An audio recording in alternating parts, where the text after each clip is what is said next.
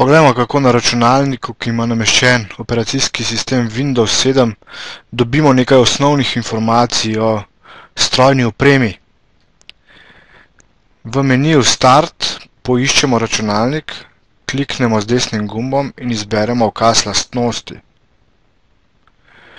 Tako dobimo pogovorno okno prikaz osnovnih informacij o računalniku.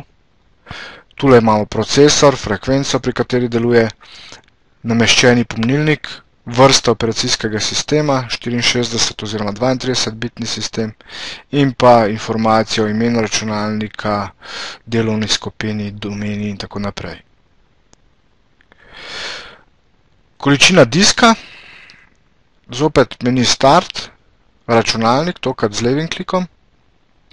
Tule boste videli seznam vseh diskov, ki so nameščeni v sistem in pa že osnovno informacijo o zasedenosti diska, podatkovno oziroma opisno in pa tole grafično.